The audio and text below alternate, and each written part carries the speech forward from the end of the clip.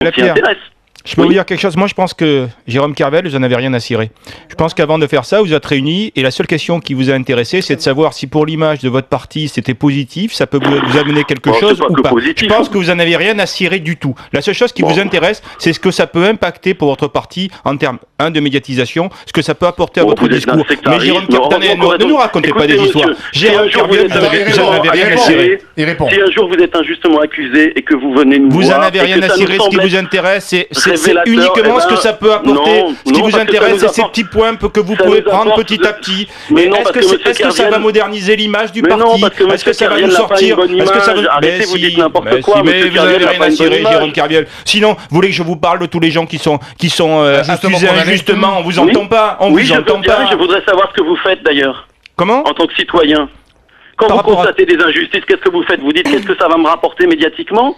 Et vous faites, Non, vous- parce que vous- moi je cherche contrairement à vous, contrairement à vous, je, contrairement à vous je cherche pas, je cherche, à, je cherche pas à être élu, donc je, Non, je fais, comme je fais comme la, je fais euh, comme, touche, je fais comme la majorité des Français.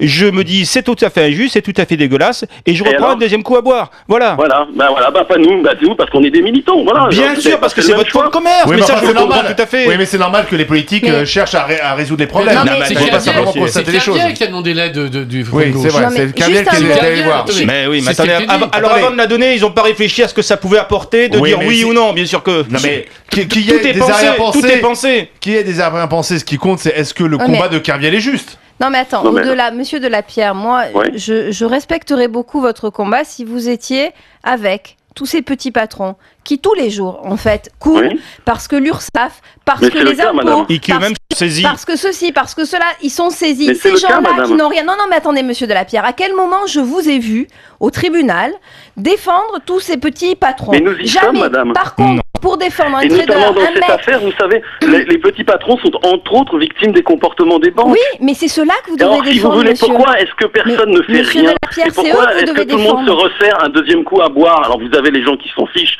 qui sont égoïstes, et vous avez les gens qui ont peur de la Société Générale. Oh, mais Parce que c'est une puissance dans ce pays. Qui est-ce qui croit que Mais ça on en a rapporte rien- quelque on chose en de a rien à cirer de la Société Générale, nous, on s'en fout Mais, complètement. bon, alors, là, vous en avez rien à a de la. Société J'ai Générale. même pas- j'ai même Vous pas un compte chez eux, Vous pouvez aller dans un procès où, ils ont un- où on met en cause le fait qu'ils ont dépouillé l'État français d'un milliard 700 millions d'euros. Quand vous commencez à être dans cette zone-là, vous prenez des risques. Hein. Quand vous êtes dans le monde des affaires, du, du, du, du business, etc., Mais vous quel pouvez risque pas vous vous voulez que je avec la prenne Société Mais Générale. Attendez, attendez, monsieur.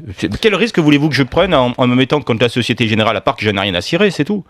Ah bon Bah oui. Oui, mais t'en as rien à cirer, Morane. Mais euh, Non, quand mais l'État- quand Société l'État- Générale. de- de quand l'État pouvoir vient au des secours, banques. euh, vient au secours des banques, c'est avec ton argent. Et donc quand, et quand- à et cirer. quand- et quand l'État dit, Attends. quand l'État distribue 30 milliards aux syndicats pour s'occuper de la formation et qu'on a, et qu'on a la majorité des gens qui sont sur le marché du travail, qui trouvent pas d'emploi parce qu'ils sont pas formés, ça me paraît plus grave que Jérôme Kerviel. Mais on vous entend pas là-dessus. Allez, merci euh, François Delapierre, merci